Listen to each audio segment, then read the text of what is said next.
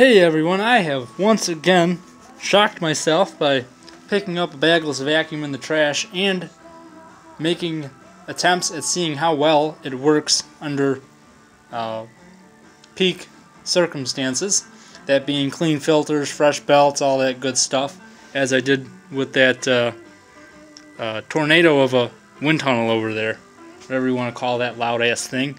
Um, Shark has definitely always been at the top of my list, along with Bissell, for being um, amongst the worst of bagless vacuums. If I had to rank uh, how much I hate bagless vacuums, from the least amount that I hate them to the the worst one possible.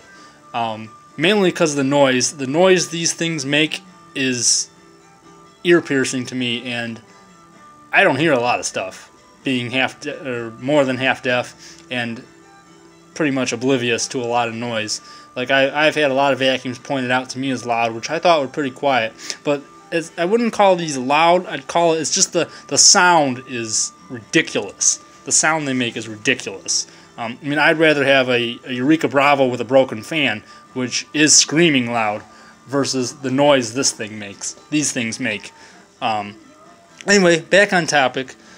I have, however, uh, become aware of the fact that sharks, despite their noise level or noise type, whatever you want to call that, um, do have a fair amount of suction. I gotta give them credit for that. They are pretty good with the suction. Now, how long it lasts, I don't know. I've only used a shark once or twice to see that it had decent suction. Does that last on a, a regular use basis without cleaning the filters out every time? I sort of have a feeling that's not how it works even though of course they advertise like a Dyson and never loses suction, which that I definitely know is bullshit because every Dyson I've ever used um, either had a clog before I used it or had a clog, ended up having a clog during my use and normal use too, not trying to abuse my boss's vacuums for one. All as every uh, every person I've worked for has had a Dyson, strange as it is.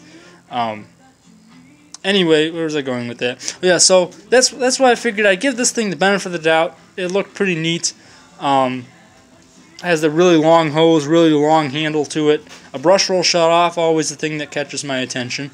Um, features and stuff. Figured this thing was clogged to high heaven. Um, actually wasn't. I uh, I cleaned out the sucked out the cyclones real quick with a shop vac. There was some dust in the bin. No clogs in the hoses or anything. I'm pretty certain the reason they threw it out was the uh, the telescopic thing um, wouldn't lock.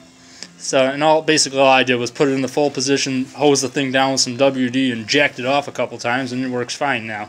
Um, but uh, it definitely does still stand true that uh, these newer bagless vacuums, especially Sharks, again, in my opinion on them, are uh, cheaply made. I uh, wasn't even trying to be rough with the thing, but promptly I broke that thing off, broke the, uh, there's some little push thing that's kind of glued, or kind there's, well, there's a plastic little thing attached to the bottom of the handle release that somehow managed to snap off in me putting the cover back on, or when I took the cover off, which was also a pain in the dick to get off, because um, you kind of had to pick up on, you had these things that, these the, the normal prongs that go slide in the front like that. But at the same time, you also had to bring it, push the hood back to get it over the, um, the, the brush selector thing. Really uh, awkward and a pain in the ass. Definitely um, not uh, not intended for people to take a stab at changing the belts themselves. Um, I mean, if I was getting pissed off at it and been working on vacuums for the good majority of my life, I could imagine somebody else saying the hell with it and they give up, especially since um, all the screws required a nice long Phillips screwdriver to get to, um, which I could see that being a turnoff for some people that probably might not have a long Phillips screwdriver to get to it. Um, so anyway, I um, the closest belt I had was actually an Elite belt. Um, very interested to see this thing has a two belt system in it. Um, the main belt, the small belt, could use replacing at some point, probably next week. I'll run to the vacuum store and see if I can pick those up Because um, I am, I actually, sad as it is to say, I think I'm going to keep this thing. I like how long the hose is, and provided um, it actually doesn't lose suction, it does have good suction. So uh, I think this thing will be sticking around the house, actually, and it will um, it will be joining the ranks in the vacuum room. Shocked as I am to say, just for the heck of it, you know, because I mean I have, as I have said, I have seen posts of uh, other collectors buying new sharks and loving them. So you know, I'll I'll uh, I'll put my my hands behind my back and bow my head, and maybe I'll add a shark here, you know, and and see how it goes. Um, guess I can't be opposed to them being decent vacuums anymore. Maybe they've upped their game a bit. Certainly haven't gotten rid of the noise problem these these fucking things have. But um, that all said, about six minutes of me rambling about how I don't like sharks, but I'm gonna give this one a try. Um, I've also never liked these uh, shiny rubber coated cords they give them. And finally, a shark with a decent length cord. So I mean, maybe sharks upping their game, and maybe at some point they'll fix the motor issue. But um, it's once again same with the Dyson. Would never buy one, but if it ended up in my lap, I just might add it to the collection.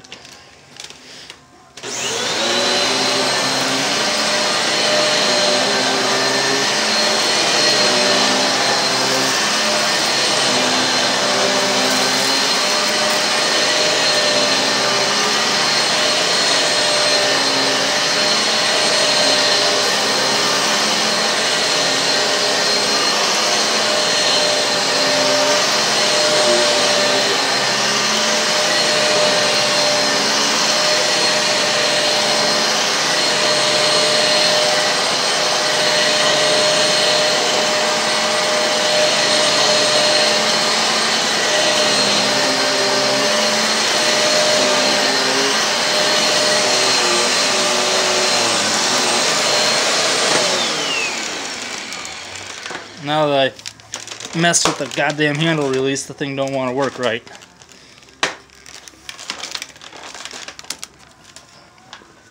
So, there we have for something to definitely take the record books and my history